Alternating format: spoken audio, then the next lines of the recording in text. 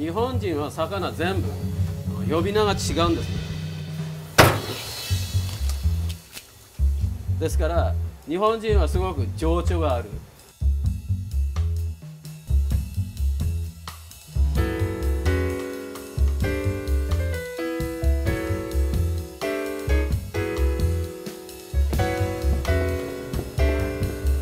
いらっしゃいませ。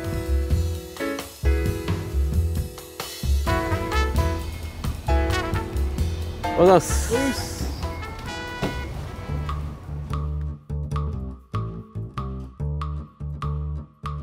え、っと僕があのロサンゼルスでシェフをやって楽しいっていうのはやはり日本に近いっていうことで魚も日本からあの優先的に、まあ、ここでストップしてニューヨークに行くですから我々は一番最初に魚をいただける。魚屋さんに行くっていうのは、まあ、僕にとって友達にも会える、まあ、そして、まあ、どういう仕事をしている商売あ忙しい暇だそういう情報もあるしお互いの顔を見合う、まあ、それと、まあ、あと一番大切なのはやっぱ魚屋さんとのリレーションシップですね。彼はいつもお世話になってるあのジョンボさんってこちらの魚のバイヤーさんです。これは一ついくらだ43ドル。パウンド43ドル、うん、39ですよ。39で えー、ですから僕はいつもいつも値切るわけじゃなくて、まあ、その交渉自体がすごく楽しい。今日が僕がこれオーダーしたやつなんですね。これがまあ金目鯛金目鯛は、まあ、今一番アメリカでも人気のあの寿司のネタになってます、まあ、これは地金目。ですからまあこれはまあ銚子千葉県千葉プリフェクチャー。銚子が一番地金目。銚子で銚子沖で取れたあとはもうちょっと南下したところであの取れたって全然やっぱり北の方、まあ、銚子沖で取れた方が全然高い。やっぱりあの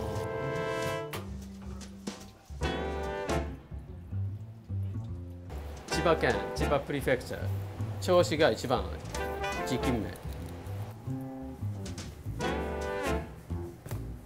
今ちょっとさらっと油が乗ってますね、淡白だけどもちょっと油が乗ってることによってうまみを感じるっていうかすごくいいあの魚だと思います。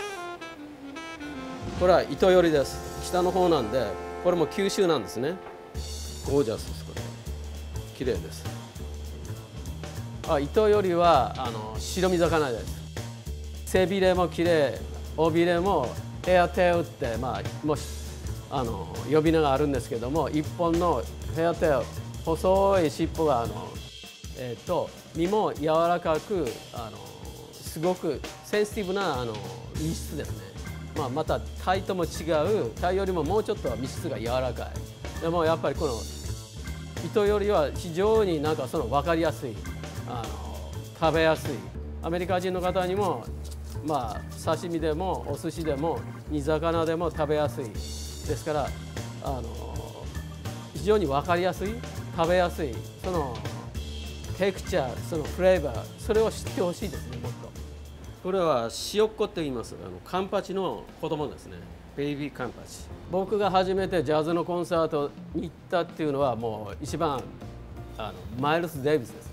これはあのセブンティーズにあの僕があの東京で聞きましたえーと、僕が生まれたのは東北山形で山形市内です、えー、ですからまあ田舎から出てもうカントリーボーイがなんかすごいあの人の音楽を聴いちゃったなって感じで、まあ、衝撃を受けました。あれはもう僕が最初で見て最後のあの一番あの偉大なアーティストだと思います。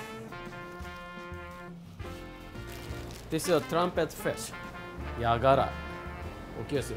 いい音ですえー、ああロサンゼルスに最初に来た時に僕は1980年全てが安かったですね。えー、っともう今考えたらもう絶対ありえない。まあすごいみんな take it easy. Peace. すごい shining. Everything. Peaceful. すごい印象的です。これはねすごくこれがくちばしなんですよねこれね。どっちかというと。鶴みたいなくちくちばしなんですよねこれね。だからこれは多分餌？餌が食べやすい。あの彼らにとってはこのくちばしが一番餌が食べやすいものだと思うんです。Small. Very small. この30年間でお寿司が変わったっていうのは、まあ、80年代90年代今2000年になってますけれども80年代はちょっとあの橋のあのハンドルもちょっとおぼつかなかったんですけれどもどんどん良くなってるそれで途中から変わったっていうのは日本からダイレクトに、まあ、日本の魚が入るようになってからもっと日本の寿司に近いようなものができるっていう。えー、っと僕がこれを作り始めたっていうのはあの僕のお客さんが中止のお客さんで、えー、最初僕にグラブラックスをくれたんですね。あこれは美味しい。食べたことのない味で、えー、グラブラックスにバッカーを使うっていうのは、えー、これはあのスイーディッシュスタイルなんですね。これが最初のあのこれからあのやるグラブラックスでこれがもう上がったもうグラブラックスになった状態のものです。サーモンロー。これあの from アラスカえー、っといくらのあのかす漬けはまあ酒まあかす漬けっていうのはまあ大体日本のトラディショナルなあのマリネの仕方で魚とかあのいろんなもんあの野菜もやるしあのいろんなもんあのやりますんで、まあ、ですからまあいくらでも合うんじゃないかっていう、まあ、そういうあの考えですよ。これは酒かすで僕アルコールに弱いんでもう酔っちゃいます。はいこういう形ですね。こういう形になります。あとは美味しくなれでそのままサック柄見つけてますんで。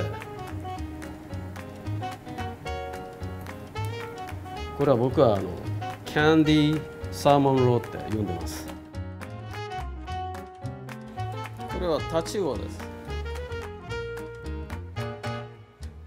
うん、ジャズを聴いた時にやっぱりあの楽器一つ一つの音が分かれて聞こえるからそのそれが一緒になって、まあ、コミュニケーションしてるっていうか人間同士楽器を使ってコミュニケーションしてる。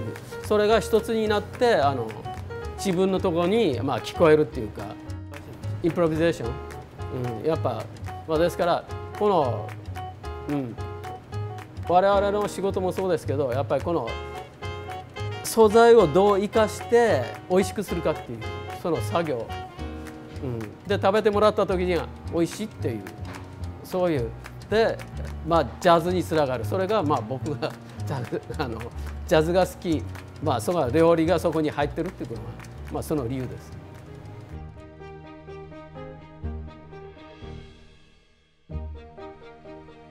あ目から鱗でしたね。仕事っていうのは毎日同じことをする。同じことができる。のが定義であってでそしたらどうやったら楽しめるかってなると今度自分が楽しくするには自分の腕を上げる。技術を身につける、まあ、僕はその辺感情、うん、感情論者ですね。テクニックというよりも。やっぱり。テクニックがあってもやっぱり音楽で上手い人がいっぱいいます。しかしソウルがないんですね。アルファンシー